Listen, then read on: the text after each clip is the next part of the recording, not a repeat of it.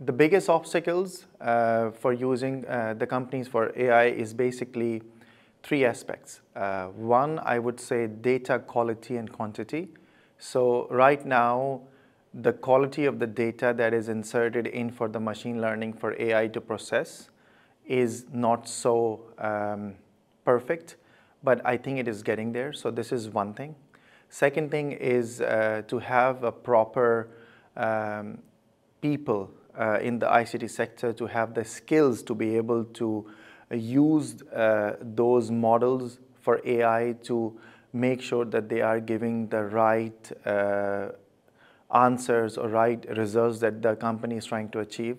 And the third one would be the governance and the bias, which means that uh, to be able to train AI to make sure that all the biases are covered and all the governance are taken care of.